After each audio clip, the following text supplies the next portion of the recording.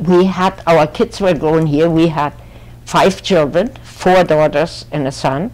We, having lost our, our families in Europe, our big thing was to have a lot of children and make sure we created a family, meaning a group of people who different in character, different in looks, different in attitudes, were a group of people. They stick to, it to, to each other, they help each other. We have nobody else. There are no aunts and uncles and stuff on our side anymore.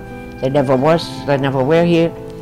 So that is one big, big advantage that I think, you know, and I mean, I have to take some credit there, which we, we uh, achieved. Our kids are very friendly, they're of totally different. The grandchildren that came out of the five, there's nine of them. The oldest one has two babies, so we are grand, great grandparents. There are two, two and a half and four and a half. And of course, the, you know, the joy of everybody. At this point in the history, people get older than they did before. So somebody has, his grandchildren was already an old person.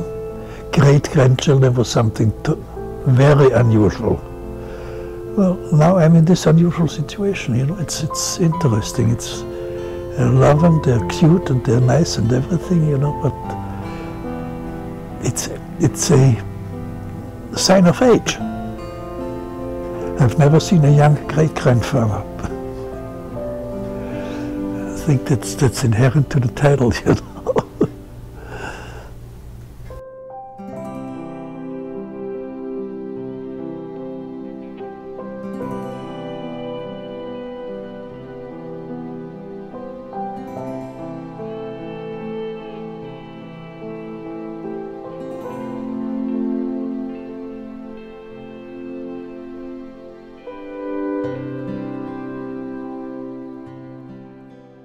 Our oldest daughter, unfortunately, passed away last year, Pat, and I mean, that's a huge, big pain, huge, big pain. Last I saw her, she was in, in a bed, peacefully asleep, which is the only thing that makes me feel a little better, if there is such a thing. She did not know she was dying. She had had a doctor's information that she'd have about a year to live, but she did not tell us that, of course. But she had no clue, nor did the doctors, that she would basically die within two weeks.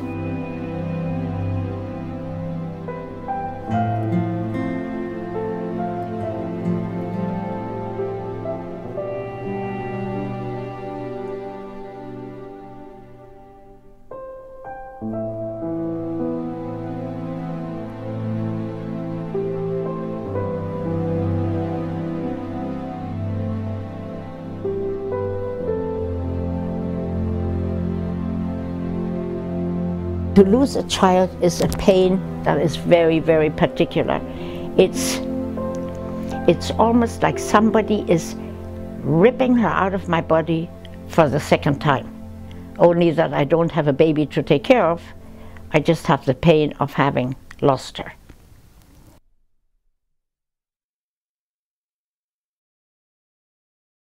So it's tough, but I'll just get my strength, I hope, together and, and, and do what I can as long as I'm around. And when my daughter died of breast cancer, my number two daughter, Danny, has breast cancer. I have ovarian, but I have been hanging in there. In fact, the doctor had given me three years, three good years, and then we were going to see. It's been four, and I'm still not only around, but I'm in good shape. The cancer has not come back yet. It will, she says, the doctor. But as long as I'm fine, I'm fine. I, I don't dwell on it much. I don't think of it much. I have a very active life. I do all the stuff that I always wanted to do. And just hoping, you know, that, that I'll be around a few more years. And that is all I can say. I am not the type of person who dwells on what could be or should be or when it would be because it would just make me unhappy, waste my time. spend misspend my time with my kids and my grandkids and just constantly moan and groan, which I'm a bitch, but I don't moan and groan. So that's about it. I, I feel fine right now. My latest achievement was I wrote a book, and now I can go home and die. I'm not, I have no intention of dying, but I'm, I did what I had to do in my life.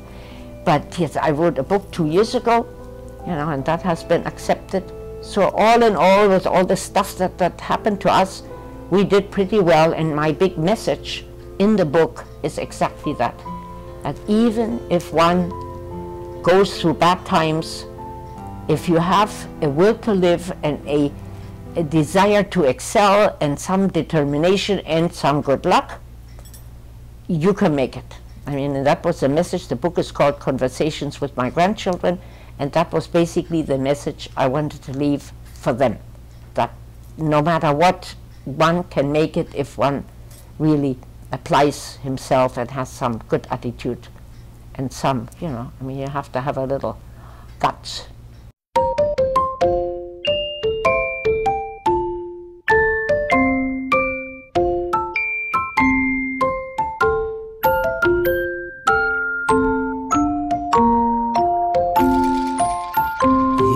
Gotta give a little, take a little, and let your poor heart break a little.